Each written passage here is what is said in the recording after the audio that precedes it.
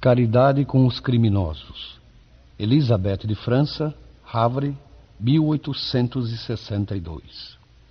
A verdadeira caridade é um dos mais sublimes ensinamentos de Deus para o mundo.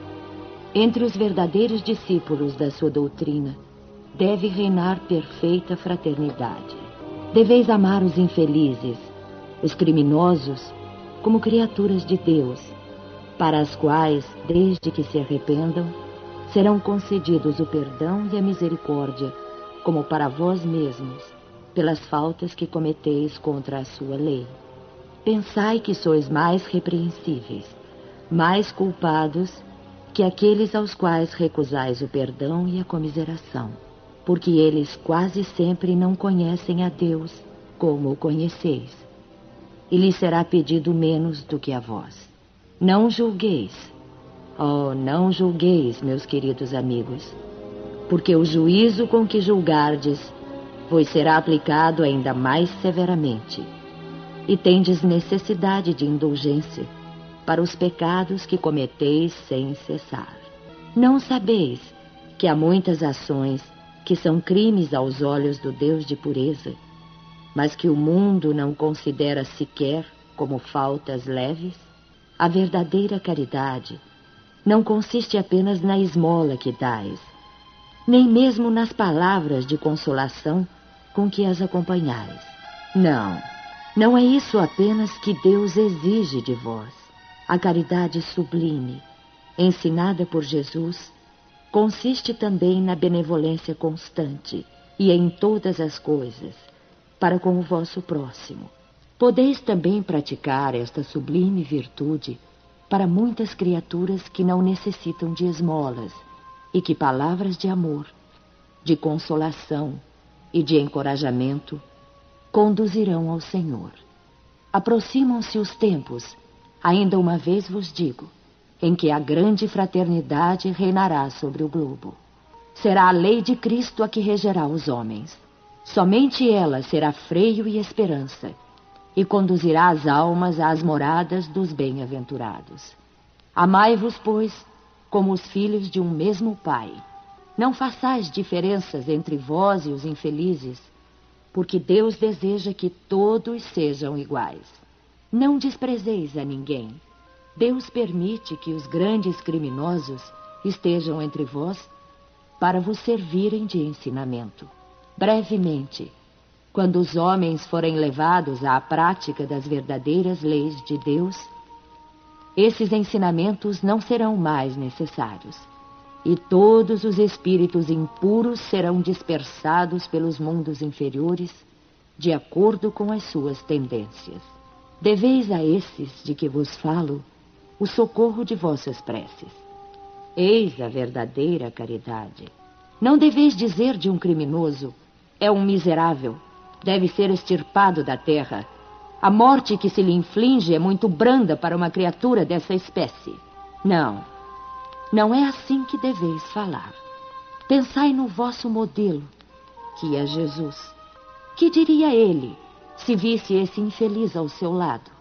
Havia de lastimá-lo, considerá-lo como um doente muito necessitado e lhe estenderia a mão. Não podeis, na verdade, fazer o mesmo. Mas pelo menos podeis orar por ele, dar-lhe assistência espiritual durante os instantes que ainda deve permanecer na terra. O arrependimento pode tocar-lhe o coração, se orardes com fé. É vosso próximo como o melhor dentre os homens. Sua alma transviada e revoltada foi criada como a vossa, para se aperfeiçoar.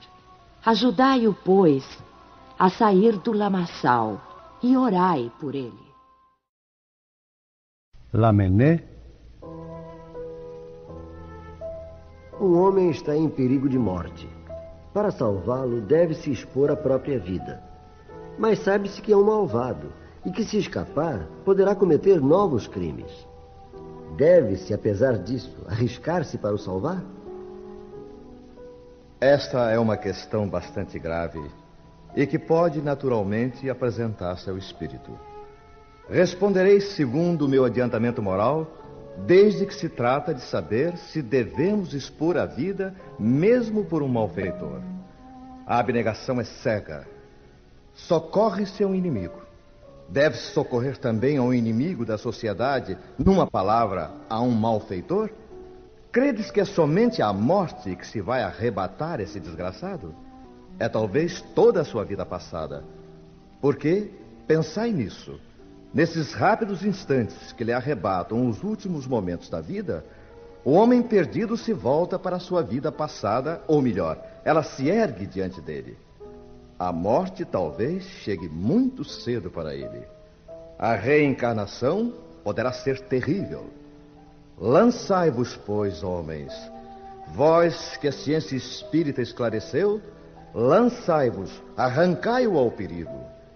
E então este homem, que teria morrido injuriando-vos, talvez se atire nos vossos braços.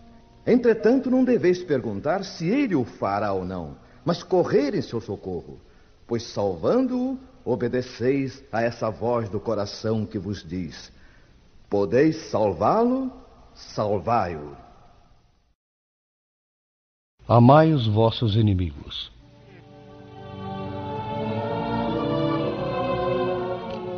Tendes ouvido o que foi dito. Amarás ao teu próximo e aborrecerás ao teu inimigo. Mas eu vos digo: amai os vossos inimigos. Fazei bem ao que vos odeia, e orai pelos que vos perseguem e caluniam, para serdes filhos de vosso Pai, que está nos céus, o qual faz nascer o seu sol sobre bons e maus, e vir chuva sobre justos e injustos. Porque, se não amardes, senão os que vos amam, que recompensa haveis de ter? Não fazem os publicanos também assim? E se saudardes somente aos vossos irmãos, que fazeis nisso de especial? Não fazem também assim os gentios? Eu vos digo que se a vossa justiça não for maior e mais perfeita do que a dos escribas e fariseus, não entrareis no reino dos céus. E se vós amais somente aos que vos amam, que merecimento é o que vós tereis? Pois os pecadores também amam os que os amam. E se fizerdes bem aos que vos fazem bem, que merecimento é o que vós tereis? Porque isto mesmo fazem também os pecadores. E se emprestardes somente àqueles de quem esperais receber, que merecimento é o que vós tereis? Porque também os pecadores emprestam uns aos outros para que se lhes faça outro tanto. Amai, pois, os vossos inimigos, fazei bem e emprestai sem nada esperar, e tereis muito avultada recompensa e sereis filhos do Altíssimo, que faz bem aos mesmos que lhe são ingratos e maus. Sede, pois, misericordiosos, como também vosso Pai é misericordioso. Se o amor do próximo é o princípio da caridade, amar aos inimigos é a sua aplicação sublime, porque essa virtude constitui uma das maiores vitórias conquistadas sobre o egoísmo e o orgulho. Não obstante, Geralmente nos equivocamos quanto ao sentido da palavra amor aplicada a esta circunstância. Jesus não entendia, ao dizer essas palavras, que se deve ter pelo inimigo a mesma ternura que se tem por um irmão ou por um amigo. A ternura pressupõe confiança. Ora, não se pode ter confiança naquele que se sabe que nos quer mal. Não se pode ter para com ele as efusões da amizade desde que se sabe que é capaz de abusar delas. Entre pessoas que desconfiam umas das outras, não podem existir os impulsos de simpatia existentes entre aquelas que comungam nos mesmos pensamentos. Não se pode, enfim, ter a mesma satisfação ao encontrar um inimigo que se tem com um amigo. Esse sentimento, por outro lado, resulta de uma lei física, a da assimilação e repulsão dos fluidos. O pensamento malévolo emite uma corrente fluídica que causa penosa impressão. O pensamento benévolo envolve-nos no eflúvio agradável. Daí a diferença de sensações que se experimenta a aproximação de um inimigo ou de um amigo.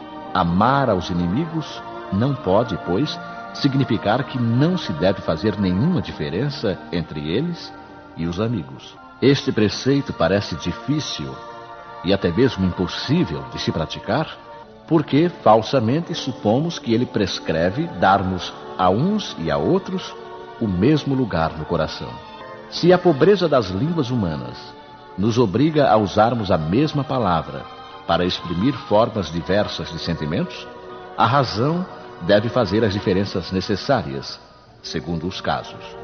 Amar aos inimigos não é, pois, ter por eles uma afeição que não é natural, uma vez que o contato de um inimigo faz bater o coração de maneira inteiramente diversa que o de um amigo. Mas é não lhes ter ódio nem rancor ou desejo de vingança. É perdoá-los sem segunda intenção e incondicionalmente pelo mal que nos fizeram. É não opor nenhum obstáculo à reconciliação. É desejar-lhes o bem ao invés do mal. É alegrar-nos em lugar de aborrecer-nos com o bem que os atinge. É estender-lhes a mão prestativa em caso de necessidade. É abster-nos por atos e palavras de tudo o que possa prejudicá-los. É, enfim, pagar-lhes em tudo o mal com o bem, sem a intenção de humilhá-los.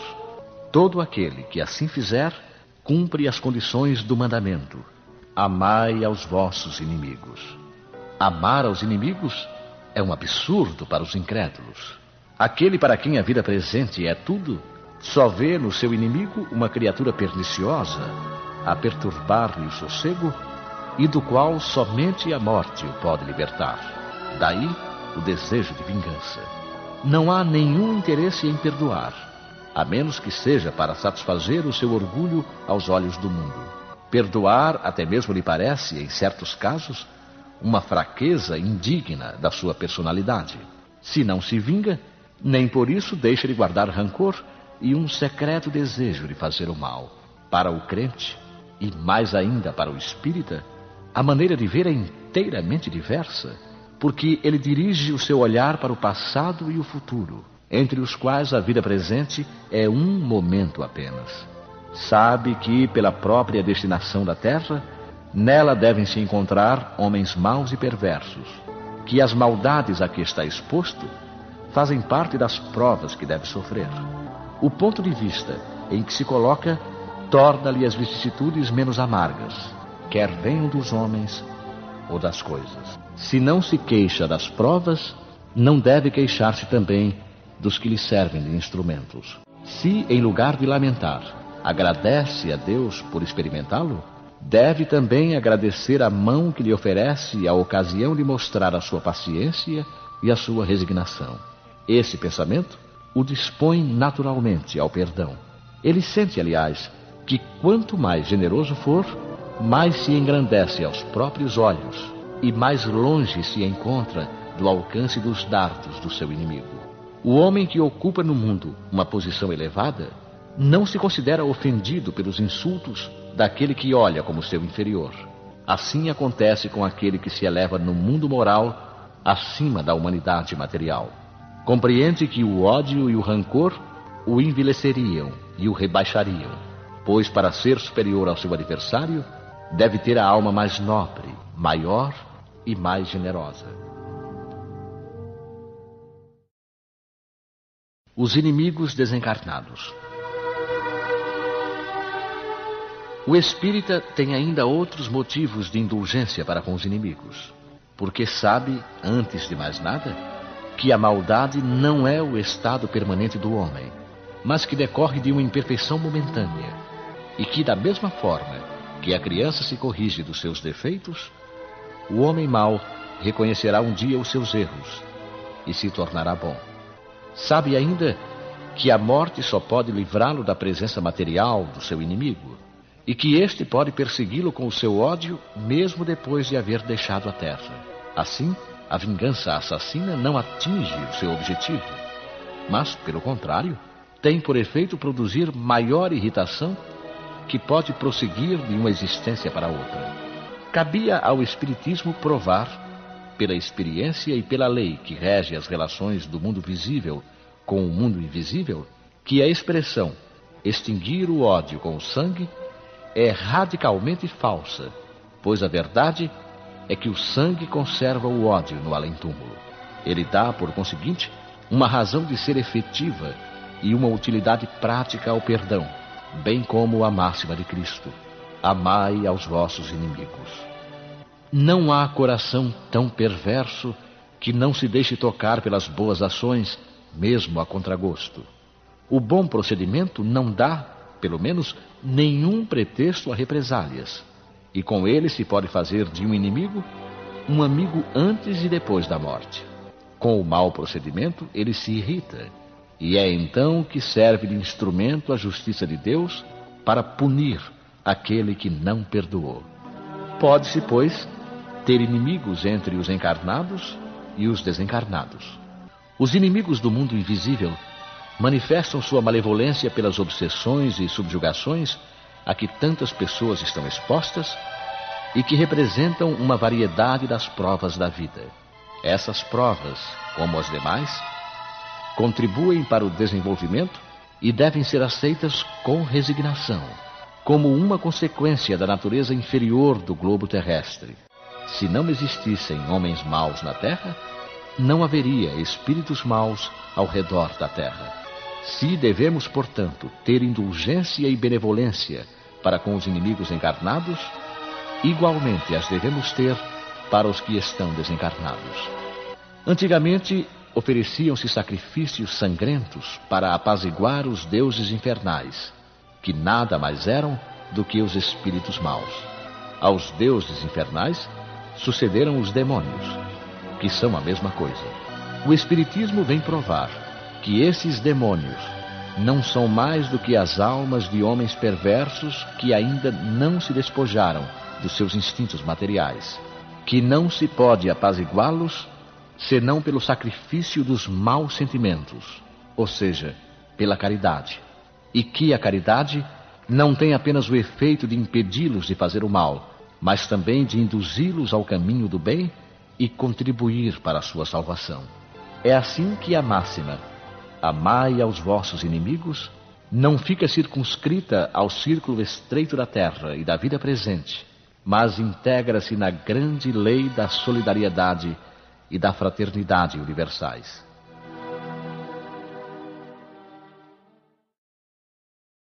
Se alguém te ferir na face direita, Vós tendes ouvido o que se disse: olho por olho e dente por dente. Eu, porém, digo-vos que não reajas ao mal.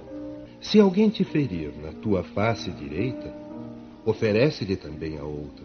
E ao que quer demandar-te em juízo e tirar-te a túnica, larga-lhe também a capa. E se alguém te obrigar a ir carregando mil passos, vai com ele ainda outros mais dois mil. Dá a quem te pede e não voltes as costas ao que deseja que lhe emprestes. Os preconceitos do mundo a respeito daquilo que se convencionou chamar ponto de honra dão esta suscetibilidade sombria, nascida do orgulho e do exagerado personalismo, que leva o homem a geralmente retribuir injúria por injúria, golpe por golpe, o que parece muito justo para aqueles cujo senso moral não se eleva acima das paixões terrenas. Eis porque dizia a lei mosaica: olho por olho e dente por dente, mantendo-se em harmonia com o tempo em que Moisés vivia. Mas veio o Cristo e disse: Não resistais ao que vos fizer mal, mas se alguém te ferir na tua face direita, oferece-lhe também a outra. Para o orgulhoso, esta máxima parece uma covardia porque ele não compreende que há mais coragem em suportar um insulto que em se vingar. E isto sempre por aquele motivo que não lhe permite enxergar além do presente. Deve-se, entretanto, tomar essa máxima ao pé da letra? Não. Da mesma maneira que aquela que manda arrancar o olho, se ele for causa de escândalo. Levada às últimas consequências, ela condenaria toda repressão, mesmo legal, e deixaria o campo livre aos maus, que nada teriam a temer, não se pondo freio às suas agressões, bem logo todos os bons seriam suas vítimas. O próprio instinto de conservação, que é uma lei da natureza, nos diz que não devemos entregar de boa vontade o pescoço ao assassino.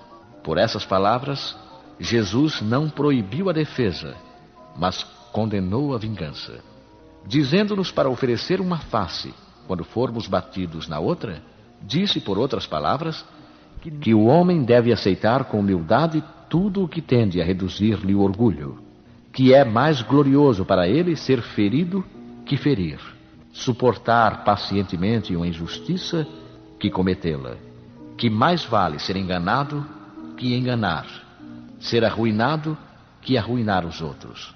Isto, ao mesmo tempo, é a condenação do duelo que nada mais é que uma manifestação do orgulho. A fé na vida futura e na justiça de Deus, que jamais deixa o mal impune, é a única que nos pode dar a força de suportar, pacientemente, os atentados aos nossos interesses e ao nosso amor próprio. Eis porque vos dizemos incessantemente: voltai os vossos olhos para o futuro Quanto mais vos elevardes pelo pensamento acima da vida material, menos sereis feridos pelas coisas da terra. Instruções dos Espíritos. A Vingança. Gilles Olivier, Paris, 1862. A vingança é um dos últimos resíduos dos costumes bárbaros que tendem a desaparecer dentre os homens. Ela é, com o duelo, um dos derradeiros vestígios daqueles costumes selvagens em que se debatia a humanidade no começo da era cristã. Por isso, a vingança é um índice seguro do atraso dos homens que a ela se entregam e dos espíritos que ainda podem inspirá-la. Portanto, meus amigos, esse sentimento jamais deve fazer vibrar o coração de quem quer que se diga e se afirme espírita. Vingar-se é ainda vós o sabeis, de tal maneira contrário a esse preceito do Cristo. Perdoai aos vossos inimigos, que aquele que se recusa a perdoar, não somente não é espírita, como também não é cristão. A vingança é um sentimento tanto mais funesto quanto a falsidade e a vileza são suas companheiras assíduas. Com efeito, aquele que se entrega a essa paixão cega e fatal quase nunca se vinga às claras. Quando é o mais forte, precipita-se como uma fera sobre o que considera seu inimigo, pois basta vê-lo para que se inflamem a sua paixão, a sua cólera e o seu ódio. No mais das vezes, porém, assume uma atitude hipócrita, dissimulando no mais profundo do seu coração os maus sentimentos que o animam. Toma então caminhos escusos, seguindo o inimigo na sombra sem que este desconfie, e aguarda o momento propício para feri-lo sem perigo. Ocultando-se, vigia-o sem cessar, prepara-lhe ciladas odiosas e, quando surge a ocasião, derrama-lhe o veneno na taça. Se o seu ódio não chega a esses extremos, ataca-o na sua honra e nas suas afeições. Não recua diante da calúnia, e suas pérfidas insinuações habilmente espalhadas em todas as direções, vão crescendo pelo caminho. Dessa maneira, quando o perseguido aparece nos meios atingidos pelo seu sopro envenenado, admira-se de encontrar semblantes frios, onde outrora havia rostos amigos e bondosos. Fica estupefato quando as mãos que procuravam a sua agora se recusam a apertá-la. Enfim, sente-se aniquilado quando os amigos mais caros e os parentes o evitam e se esquivam dele.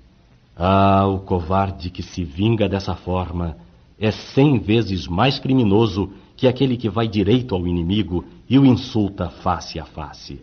Para trás, portanto, com esses costumes selvagens.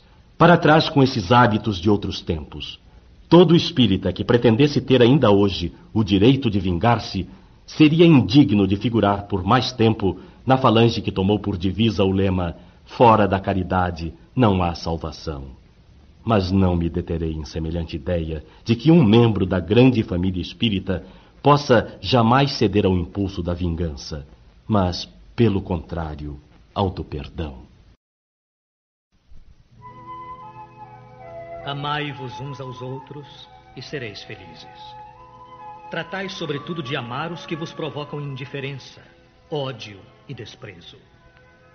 O Cristo que deveis tornar o vosso modelo deu-vos o exemplo dessa abnegação. Missionário do amor, amou até dar o sangue e a própria vida. O sacrifício de amar os que vos ultrajam e perseguem é penoso, mas é isso precisamente o que vos torna superiores a eles. Se vós os odiasseis, como eles vos odeiam, não valeríeis mais do que eles. É essa a hóstia imaculada que ofereceis a Deus no altar de vossos corações, hóstia de agradável fragrância, cujos perfumes sobem até ele. Mas, embora a lei do amor nos mande amar indistintamente a todos os nossos irmãos, não endurece o coração para os maus procedimentos. É essa, pelo contrário, a prova mais penosa. Eu sei, pois durante minha última existência terrena, experimentei essa tortura. Mas Deus existe e pune nesta e na outra vida os que não cumprem a lei do amor. Não vos esqueçais, meus queridos filhos, de que o amor nos aproxima de Deus e o ódio nos afasta dele.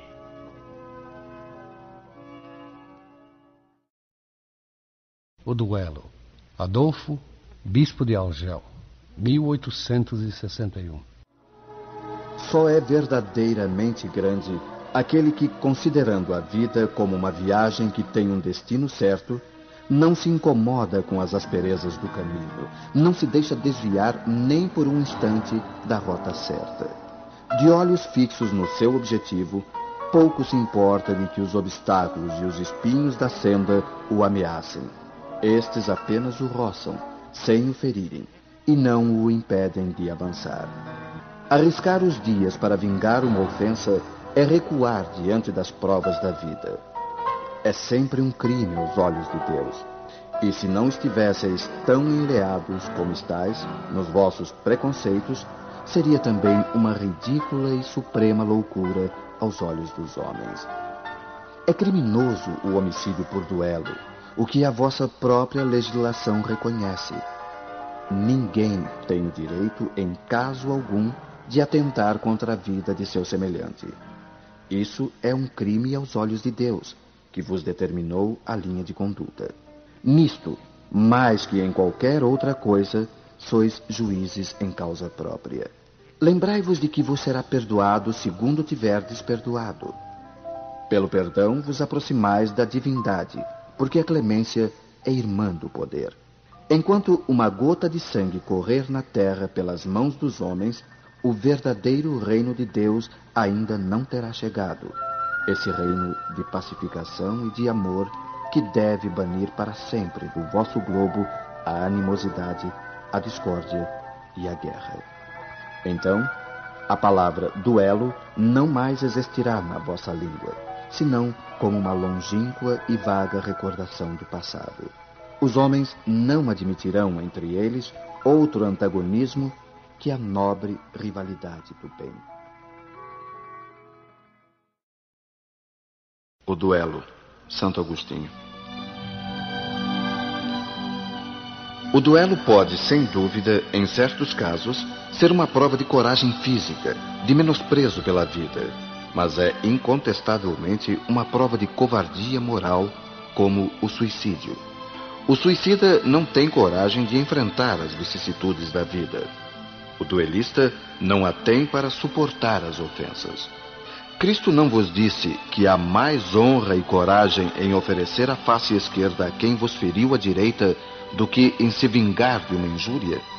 Cristo não disse a Pedro no jardim das oliveiras: Embainha de novo tua espada, pois aquele que mata pela espada perecerá pela espada? Por essas palavras, Jesus não condenou o duelo para sempre.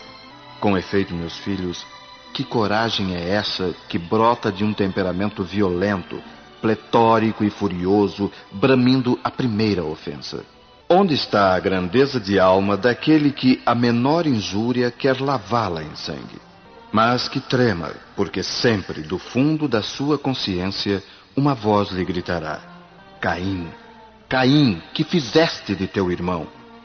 E ele responderá: Foi necessário o sangue para salvar minha honra. Mas a voz replicará: Quiseste salvá-la perante os homens nos breves instantes que te restavam na terra e não pensaste em salvá-la perante Deus?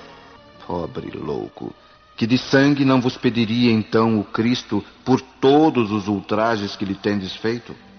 Não somente o feristes com os espinhos e a lança, não somente o erguestes num madeiro infamante, mas ainda, em meio de sua agonia, pôde ele ouvir as zombarias que lhe prodigalizastes. Que reparações vos pediu ele depois de tantos ultrajes? O último gemido do cordeiro foi uma prece pelos seus algozes. Oh, como ele, perdoai e orai pelos que vos ofendem. Amigos, lembrai-vos deste preceito. Amai-vos uns aos outros, e então, ao golpe do ódio, respondereis com um sorriso, e ao ultraje, com o perdão. O mundo sem dúvida se erguerá furioso e vos chamará de covarde. Erguei a fronte bem alto e mostrai, então, que a vossa fronte também não recearia ser coroada de espinhos, a exemplo do Cristo, mas que a vossa mão não quer participar de um assassinato autorizado, podemos dizer, por uma falsa aparência de honra, que nada mais é senão orgulho e amor próprio. Ao criar-vos, Deus vos deu o direito de vida e de morte uns sobre os outros? Não, pois só deu esse direito à natureza, para se reformar e se refazer. Mas a vós nem sequer permitiu dispordes de vós mesmos, como o suicida, o duelista estará marcado de sangue quando comparecer perante Deus, e a um como ao outro, o soberano juiz reserva rudes e longos castigos. Se ameaçou com a sua justiça àqueles que dizem raca a seus irmãos, quanto mais severa não será a pena reservada àquele que comparecer diante dele com as mãos sujas do sangue de um irmão.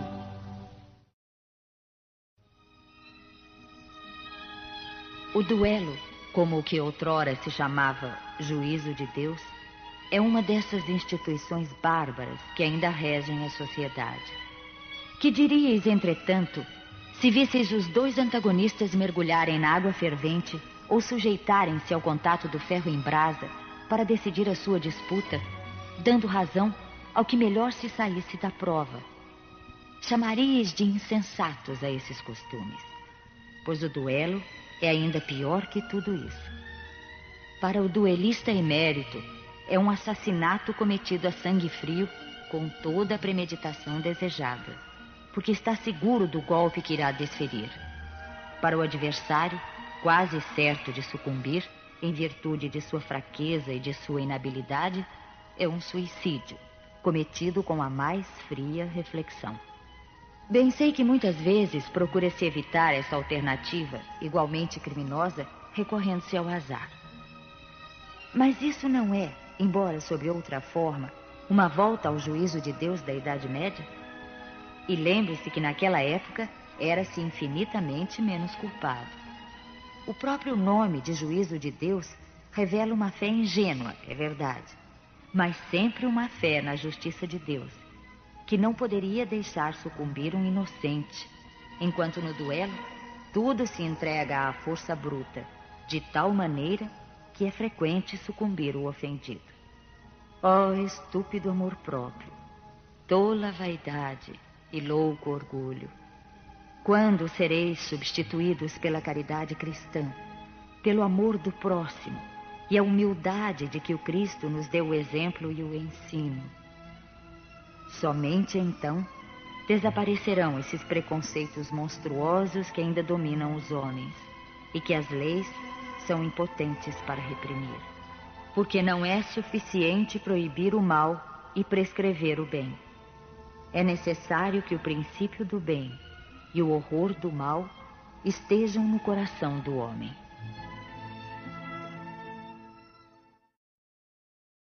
Francisco Xavier Bordeaux, 1861. Que pensarão de mim? Dizeis frequentemente. se me recusar a reparação que me pedem, ou se eu não a pedir àquele que me ofendeu. Os loucos como vós, os homens atrasados vos censurarão. Mas os esclarecidos pela flama do progresso intelectual e moral dirão que agis segundo a verdadeira sabedoria. Refleti um pouco. Por uma palavra, dita muitas vezes sem intenção, ou inteiramente inofensiva, por um de vossos irmãos, vosso orgulho se fere. Respondeis de maneira áspera, e a provocação está feita. Antes de chegar ao momento decisivo, perguntai se estáis agindo como cristão. Que contas prestareis à sociedade se a privardes de um de seus membros? Pensai no remorso de haver roubado a uma mulher o seu marido, à mãe o seu filho, aos filhos o pai e com ele o seu sustento. Certamente aquele que ofendeu deve uma reparação. Mas não é muito mais honroso dá-la espontaneamente, reconhecendo os seus erros do que expor a vida daquele que tem direito de queixar-se.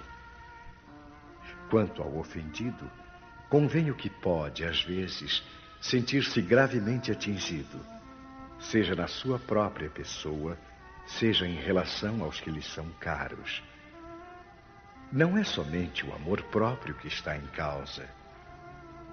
O coração foi magoado e ele sofre. Mas além de ser estúpido, jogar a vida contra um miserável capaz de infâmias, mesmo que mate a este? Por acaso a afronta não subsiste, seja qual for? O sangue derramado não provocará maior alarde sobre um fato que, se falso, deve desaparecer por si mesmo e, se verdadeiro, deve ocultar-se no silêncio.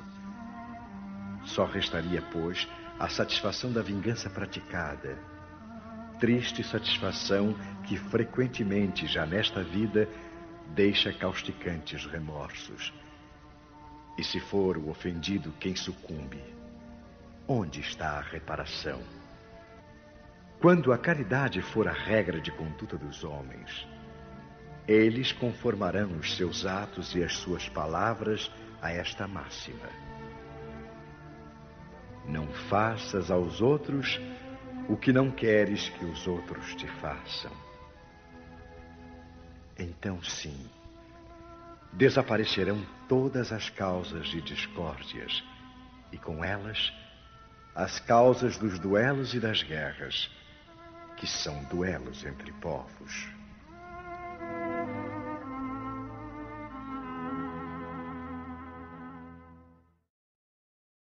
Agostinho, Bordeus, 1861.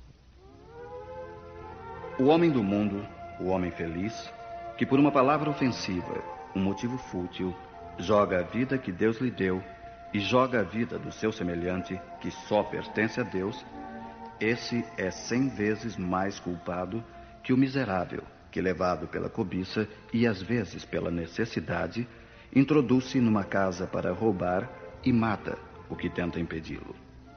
Porque este é quase sempre um homem sem educação, com imperfeitas noções do bem e do mal, enquanto o duelista pertence geralmente à classe mais esclarecida. Um mata brutalmente, o outro com método e cortesia, o que faz a sociedade desculpá-lo. Acrescento mesmo que o duelista é infinitamente mais culpado que o infeliz que, cedendo a um sentimento de vingança, mata num momento de desespero. O duelista não tem por desculpa o arrastamento da paixão, porque entre o insulto e a reparação sempre há tempo de refletir. Ele age, pois, fria e premeditadamente. Tudo é calculado e estudado para matar com segurança o seu adversário. é verdade que expõe também a sua vida. E é isso que justifica o duelo aos olhos do mundo, que o considera como ato de coragem e desapego à vida. Mas haverá realmente coragem quando se está seguro de si mesmo? O duelo, resto dos tempos de barbárie, quando a lei era o direito do mais forte, desaparecerá com uma apreciação mais sã do verdadeiro problema da honra, à medida que o homem adquirir uma fé mais ardente na vida futura. Os duelos se tornam cada vez mais raros, e se ainda vemos de tempos em tempos dolorosos exemplos, o seu número não pode ser comparado ao de outrora. Um homem não saía de casa antigamente sem prever um encontro, tomando sempre as precauções necessárias. Um sinal característico dos costumes do tempo e dos povos era o uso do porte habitual, ostensivo ou disfarçado, de armas ofensivas e defensivas. A abolição desse uso revela o abrandamento dos costumes, e é curioso seguir-se a sua graduação desde a época em que os cavaleiros só saíam com armaduras de ferro e de lança em punho, até o simples uso da espada, que depois se tornou mais num ornamento, num acessório de uniforme, do que arma agressiva.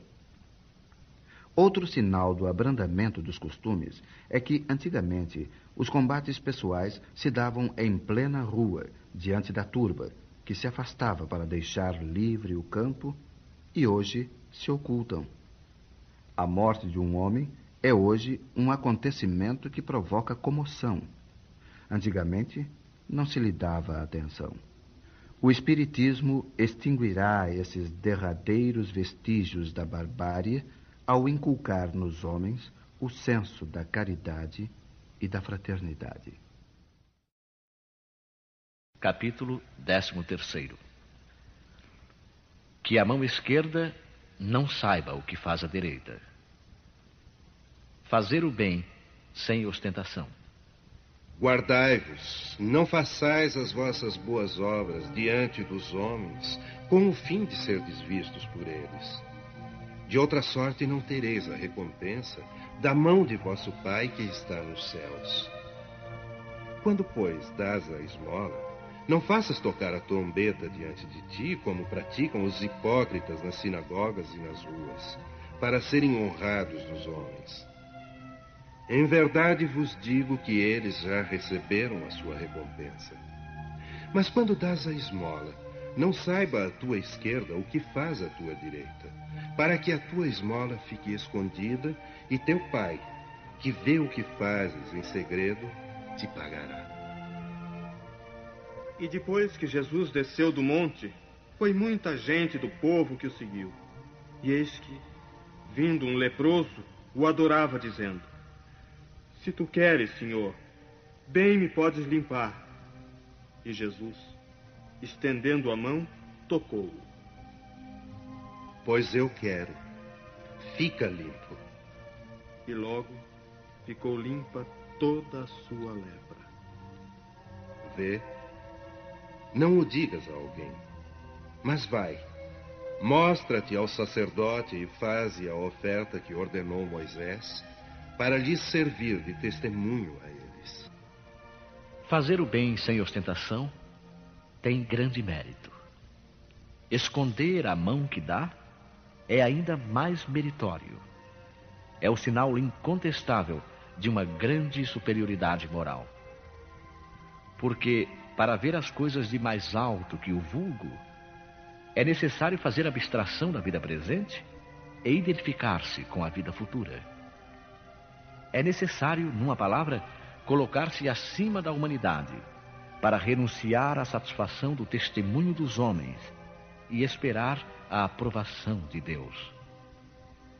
Aquele que preza mais a aprovação dos homens que a de Deus, prova que tem mais fé nos homens que em Deus e que a vida presente é para ele mais do que a vida futura, ou até mesmo que não crê na vida futura. Se ele diz o contrário, age, entretanto, como se não acreditasse no que diz. quantos há que só fazem um benefício com esta de que o beneficiado o proclame sobre os telhados? Que darão uma grande soma à luz do dia, mas escondidos não dariam sequer uma moeda. Foi por isso que Jesus disse: Os que fazem o bem com ostentação já receberam a sua recompensa.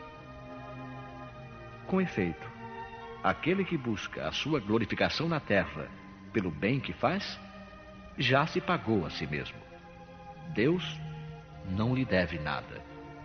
Só lhe resta a receber a punição do seu orgulho. Que a mão esquerda não saiba o que faz a direita. É uma figura que caracteriza admiravelmente a beneficência modesta. Mas, se existe a modéstia real, também existe a falsa modéstia, o simulacro da modéstia. Pois há pessoas que escondem a mão, tendo o cuidado de deixar perceber que o fazem. Indigna paródia das máximas do Cristo.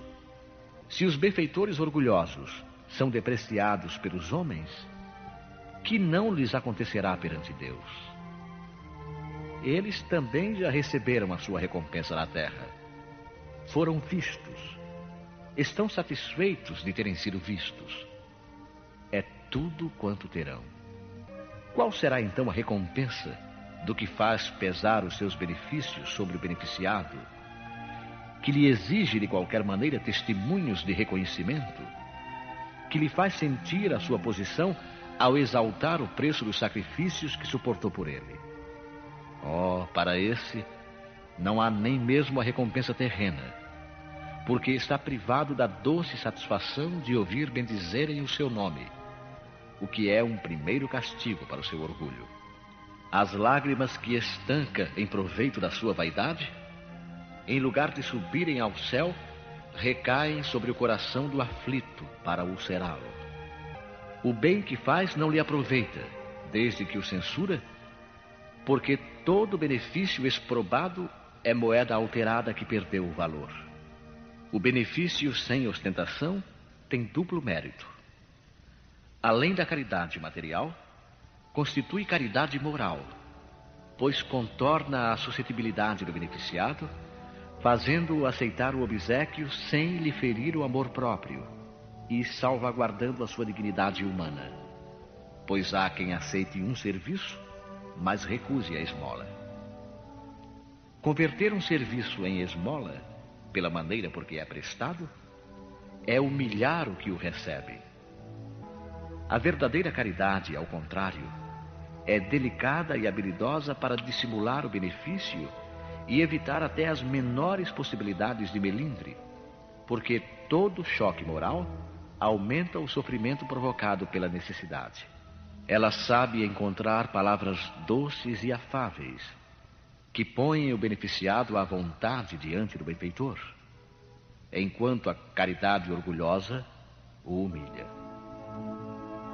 O sublime da verdadeira generosidade está em saber o benfeitor inverter os papéis, encontrando um meio de parecer ele mesmo agradecido àquele a quem presta o serviço. Eis o que querem dizer essas palavras que a mão esquerda não saiba o que faz a direita. Os infortúnios ocultos. Nas grandes calamidades, a caridade se agita e vêem-se generosos impulsos para reparar os desastres.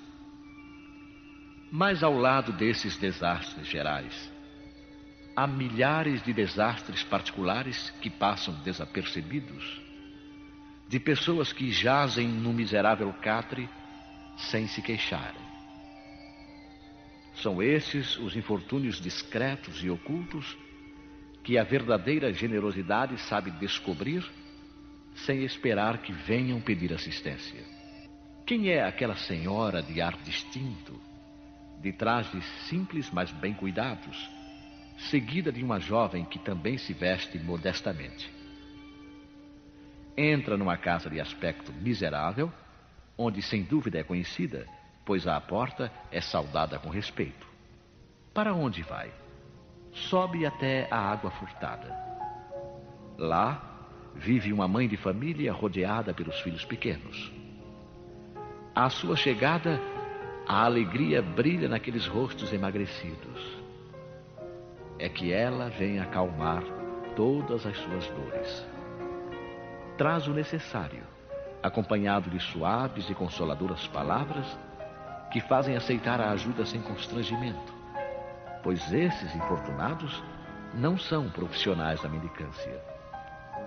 O pai se encontra no hospital e, durante esse tempo, a mãe não pode suprir as necessidades.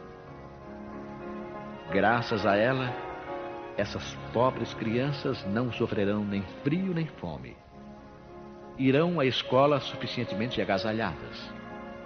E no seio da mãe não faltará o leite para os menorzinhos. Se uma entre elas adoece, não lhe repugnará prestar-lhe os cuidados materiais. Dali seguirá para o hospital, levar ao pai algum consolo e tranquilizá-lo quanto à sorte da família.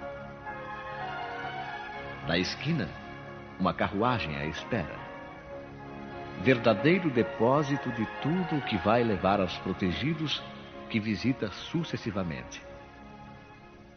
Não lhes pergunta pela crença nem pelas opiniões porque para ela todos os homens são irmãos e filhos de Deus.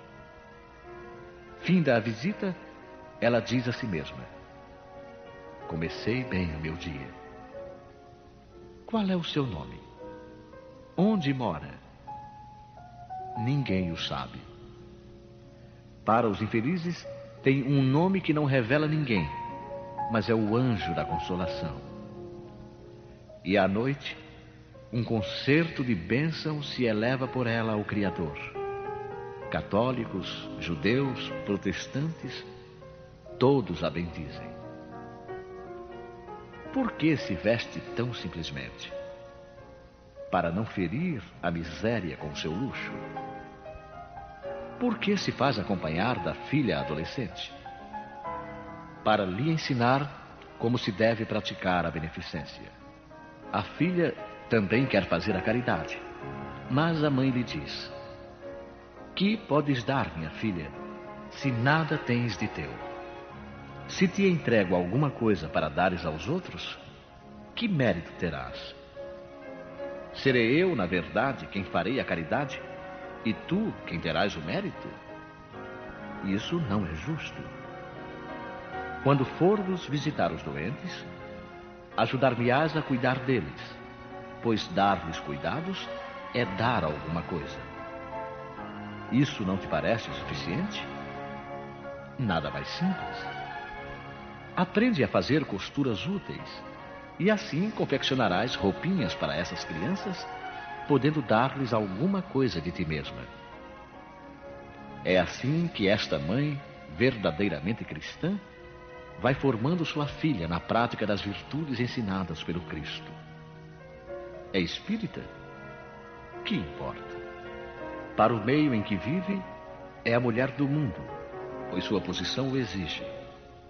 Mas ignoram o que ela faz, mesmo porque não lhe interessa outra aprovação que a de Deus e da sua própria consciência. Um dia, porém, uma circunstância imprevista leva à sua casa uma de suas protegidas para lhe oferecer trabalhos manuais. Disse-lhe ela: Não contes a ninguém. Assim falava Jesus. O óbolo da viúva.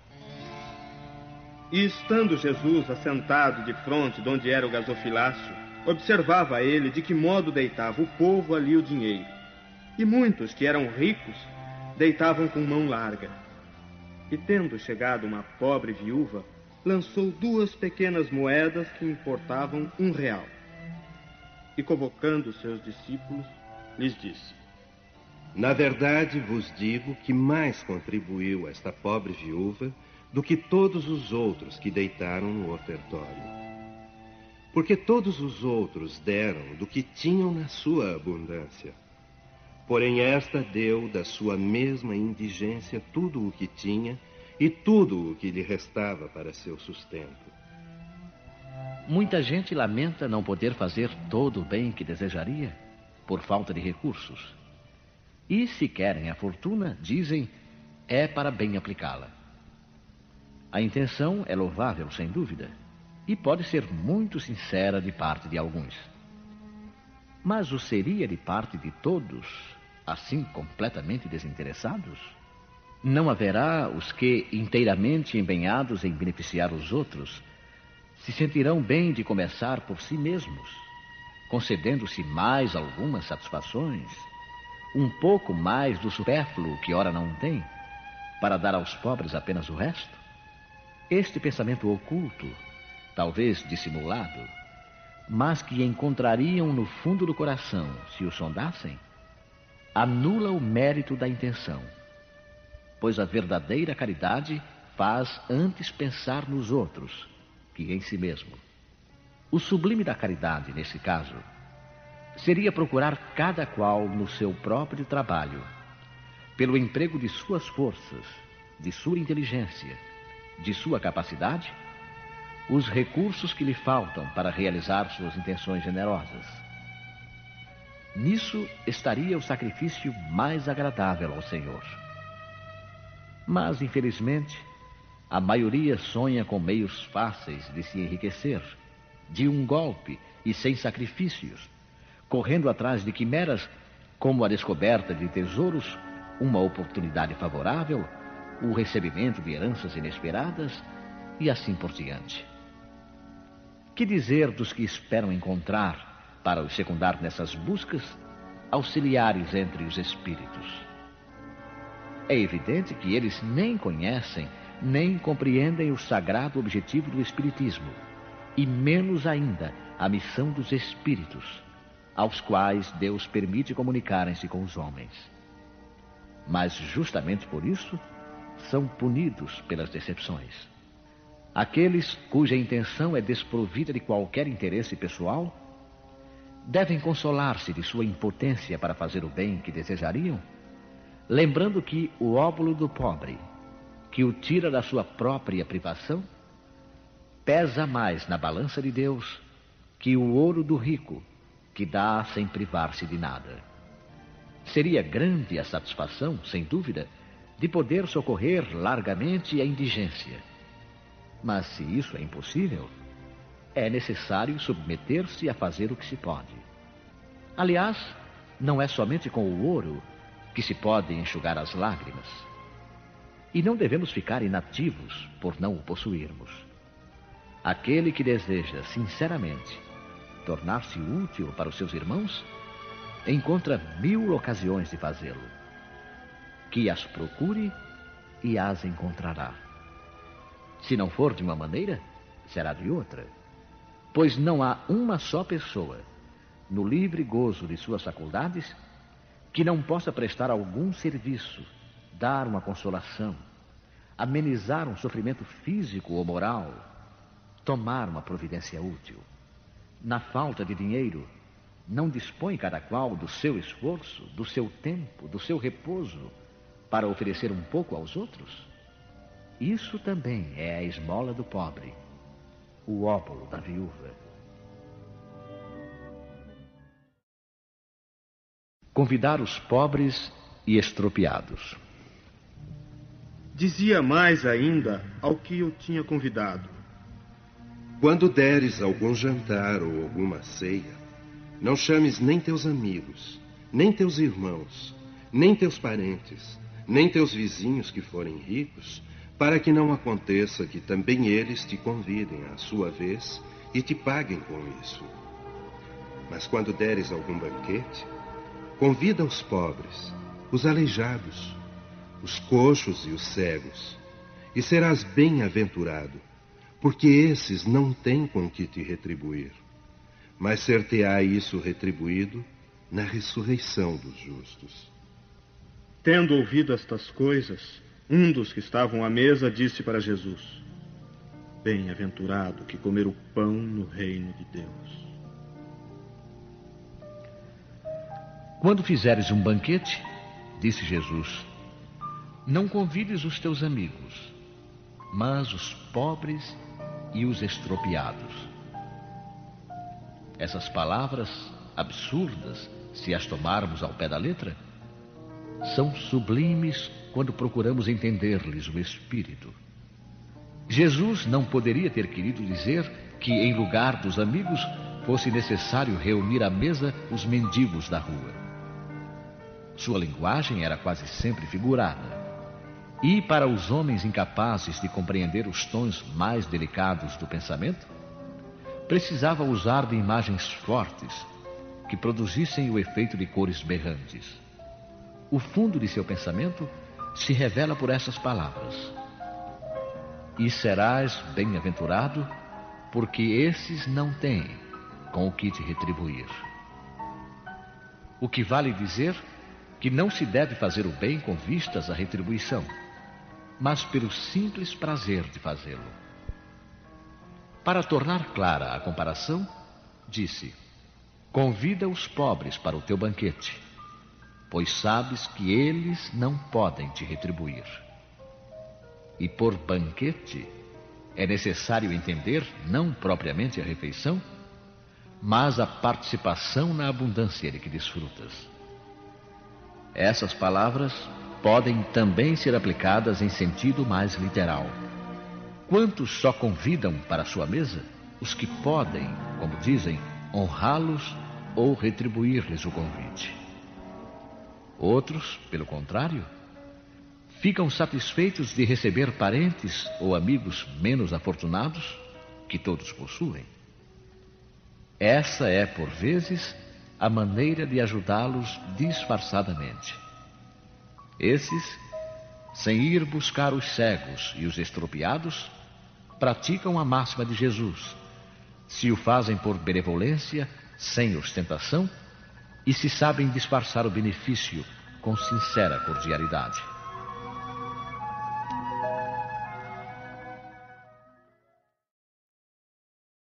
Instruções dos Espíritos: A caridade material e a caridade moral. Irmã Rosália.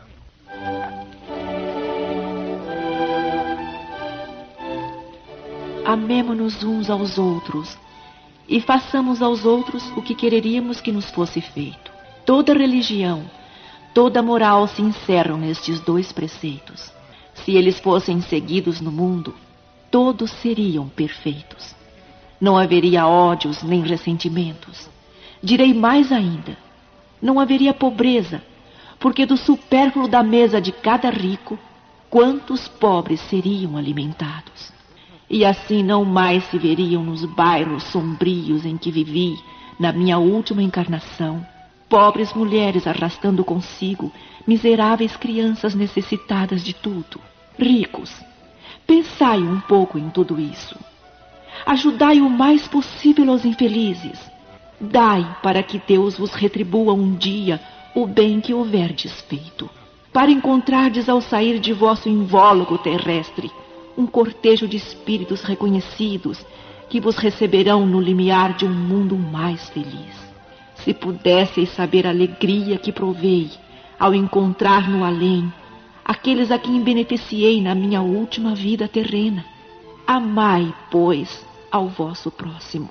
Amai-o como a vós mesmos, pois já sabeis agora que o desgraçado que repelis talvez seja um irmão, um pai, um amigo que afastais para longe. E então, qual não será o vosso desespero ao reconhecê-lo depois no mundo dos espíritos? Quero que compreendais bem o que deve ser a caridade moral, que todos podem praticar que materialmente nada custa e que, não obstante, é a mais difícil de se pôr em prática. A caridade moral consiste em vos suportardes uns aos outros, o que menos fazeis neste mundo inferior, em que estás momentaneamente encarnados. Há um grande mérito, acreditai, em saber calar para que outro mais tolo possa falar. Isso também é uma forma de caridade. Saber fazer-se de surdo quando uma palavra irônica escapa de uma boca habituada a caçoar. Não ver o sorriso desdenhoso com que vos recebem pessoas que muitas vezes erradamente se julgam superiores a vós, quando na vida espírita, a única verdadeira, estão às vezes muito abaixo. Eis um merecimento que não é de humildade, mas de caridade, pois não se incomodar com as faltas alheias é caridade moral. Essa caridade, entretanto, não deve impedir que se pratique a outra. Pelo contrário, pensai sobre tudo, que não deveis desprezar o vosso semelhante. Lembrai-vos de tudo o que vos tenho dito. É necessário lembrar incessantemente que o pobre repelido talvez seja um espírito que vos foi caro e que momentaneamente se encontra numa posição inferior à vossa. Reencontrei um dos pobres do vosso mundo, a quem pude, por felicidade, beneficiar algumas vezes e ao qual tenho agora de pedir por minha vez. Recordai-vos de que Jesus disse que somos todos irmãos e pensai sempre nisso antes de repelirdes o leproso ou o mendigo. Adeus. Pensai naqueles que sofrem e orai. Um espírito protetor. Leão, 1860. Meus amigos, tenho ouvido muitos de vós dizerem: Como posso fazer a caridade se quase sempre não tenho sequer o necessário? A caridade, meus amigos, se faz de muitas maneiras. Podeis fazê-la em pensamento, em palavras e em ações. Em pensamento, orando pelos pobres abandonados, que morreram sem terem sequer vivido. Uma prece de coração os alivia. Em palavras, dirigindo aos vossos companheiros alguns bons conselhos. Dizei aos homens amargurados pelo desespero e pelas privações, que blasfemam do nome do Altíssimo. Eu era como vós. Eu sofria, sentia-me infeliz, mas acreditei no Espiritismo e vede, agora sou feliz. Aos anciãos que vos disserem, é inútil, estou no fim da vida, morrerei como vivi. Respondei, a justiça de Deus é igual para todos. Lembrai-vos dos trabalhadores da última hora. Às crianças que, já viciadas pelas más companhias, perdem-se nos caminhos do mundo prestes a sucumbir às suas tentações, dizei: Deus vos vê, meus caros pequenos. E não temei repetir frequentemente essas doces palavras, que acabarão por geminar nas suas jovens inteligências, e em lugar de pequenos vagabundos, fareis delas verdadeiros homens. Essa é também uma forma de caridade. Muitos de vós dizem ainda: Oh, somos tão numerosos na terra que Deus não pode ver-nos a todos. Escutai bem isto, meus amigos. Quando estais no alto de uma montanha, vosso olhar não abarca os bilhões de grãos de areia que a cobrem? Pois bem, Deus vos vê da mesma maneira, e Ele vos deixa o vosso livre arbítrio, como também deixais esses grãos de areia ao sabor do vento que os dispersa, com a diferença que Deus, na sua infinita misericórdia, pôs no fundo do vosso coração uma sentinela vigilante, que se chama consciência. Ouvia que ela só vos dará bons conselhos. Por vezes conseguis entorpecê-la, opondo-lhe o espírito do mal, e então ela se cala. Mas ficais seguros de que a pobre relegada se fará ouvir tão logo a deixardes perceber a sombra do remorso. Ouvia, interrogai-a, e frequentemente sereis consolados pelos seus conselhos. Meus amigos, a cada novo regimento, o general entrega uma bandeira. Eu vos dou esta máxima do Cristo: Amai-vos uns aos outros. Praticai essa máxima. Reuni-vos todos em torno dessa bandeira, e dela recebereis a felicidade e a consolação.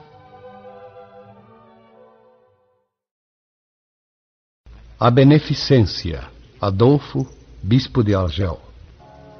A beneficência, meus amigos, vos dará neste mundo os gozos mais puros e mais doces, as alegrias do coração que não são perturbadas nem pelos remorsos, nem pela indiferença. Oh, pudesseis compreender tudo o que encerra de grande e de agradável a generosidade das belas almas, esse sentimento que faz que se olhe os outros com o mesmo olhar voltado para si mesmo e que se desvista com alegria para vestir a um irmão. pudesseis, meus amigos, ter apenas a doce preocupação de fazer aos outros felizes. Quais as festas mundanas que se podem comparar a estas festas jubilosas, quando representantes da divindade levais a alegria a essas pobres famílias, que da vida só conhecem as vicissitudes e as amarguras. Quando vedes esses rostos macilentos brilharem subitamente de esperança, porque desprovidos de pão, esses infelizes e seus filhos, ignorando que viver é sofrer, gritavam, choravam e repetiam estas palavras que, como finos punhais, penetravam o coração materno: Tenho fome. Oh, compreendei quanto são deliciosas as impressões daquele que vê renascer a alegria, onde momentos antes só havia desespero. Compreendei quais são as vossas obrigações para com os vossos irmãos. Ide, ide ao encontro do infortúnio, ao socorro das misérias ocultas, sobretudo, que são as mais dolorosas. Ide, meus bem-amados, e lembrai-vos destas palavras do Salvador. Quando vestirdes a um destes pequeninos, pensai que é a mim que o fazeis. Caridade, palavra sublime que resume todas as virtudes. És tu que deves conduzir os povos à felicidade. Ao praticar-te, eles estarão semeando infinitas alegrias para o próprio futuro, e durante o seu exílio na terra, serás para eles a consolação, o antegozo das alegrias que mais tarde desfrutarão quando todos reunidos se abraçarem no seio do Deus de amor. Foste tu, virtude divina, que me proporcionaste os únicos momentos de felicidade que gozei na terra. Possam os meus irmãos encarnados crer na voz do amigo que lhes fala e lhes diz: é na caridade que deveis procurar a paz do coração, o contentamento da alma, o remédio para as aflições da vida. Oh, quando estiveres a ponto de acusar a Deus, lançai um olhar para baixo e vereis quantas misérias a aliviar, quantas pobres crianças sem família, quantos velhos sem uma só mão amiga para os socorrer e fechar-lhes os olhos na hora da morte quanto bem a fazer. Oh, não reclamai, antes agradecei a Deus e prodigalizai a mancheias a vossa simpatia, o vosso amor, o vosso dinheiro, a todos os que, deserdados dos bens deste mundo, definham no sofrimento e na solidão. Colhereis neste mundo alegrias bem suaves, e mais tarde, somente Deus o sabe. São Vicente de Paulo, Paris, 1858. Sede bons e caridosos, eis a chave dos céus que tendes nas mãos. Toda a felicidade eterna se encerra nesta máxima: amai-vos uns aos outros. A alma não pode elevar-se às regiões espirituais senão pelo devotamento ao próximo. Não encontra felicidade e consolação senão nos impulsos da caridade. Sede bons, amparai os vossos irmãos, extirpai a horrível chaga do egoísmo. Cumprido esse dever, o caminho da felicidade eterna deve abrir-se para vós. Aliás, quem dentre vós não sentiu o coração pulsar, crescer sua alegria interior ao relato de um belo sacrifício, de uma obra de pura caridade? Se buscasseis apenas o deleite de uma boa ação, estaríeis sempre no caminho do progresso espiritual. Exemplos não vos faltam. O que falta é a boa vontade, sempre rara. Vede a multidão de homens de bem de que a vossa história evoca piedosas lembranças. O Cristo não vos disse tudo o que se refere a essas virtudes de caridade e amor? Por que deixastes de lado os seus divinos ensinamentos? Por que fechar os ouvidos às suas divinas palavras, o coração às suas doces máximas? Eu desejaria que se votasse mais interesse, mais fé às leituras evangélicas. Mas abandona-se esse livro, considerado como texto quimérico, mensagem cifrada, deixa-se no esquecimento esse código admirável. Vossos males provém do abandono voluntário desse resumo das leis divinas. Leia depois essas páginas ardentes sobre a abnegação de Jesus e meditai-as. Homens fortes, armai-vos. Homens fracos, fazei da vossa doçura, da vossa fé, as vossas armas. Tende mais persuasão e mais constância na propagação de vossa doutrina.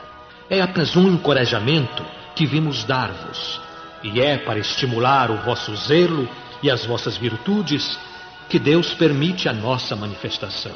Mas, se quisesseis, bastaria a ajuda de Deus e da vossa própria vontade, pois as manifestações espíritas se produzem somente para os que têm os olhos fechados e os corações indóceis.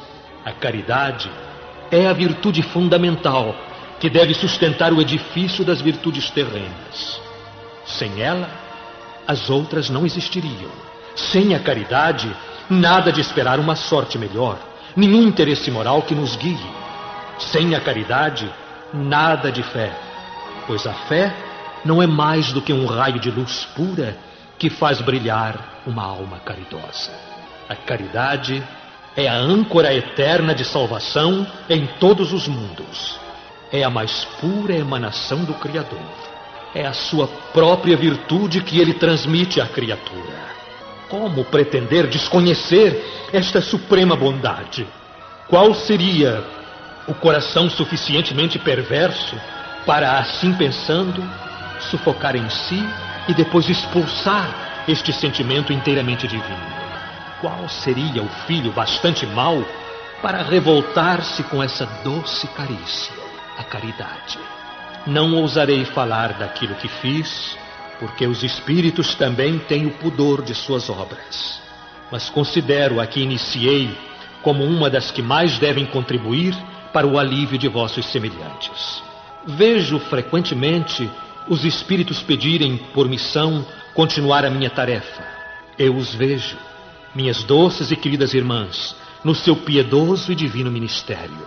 Eu os vejo praticar a virtude que vos recomendo, com toda a alegria que essa existência de abnegação e sacrifícios proporciona.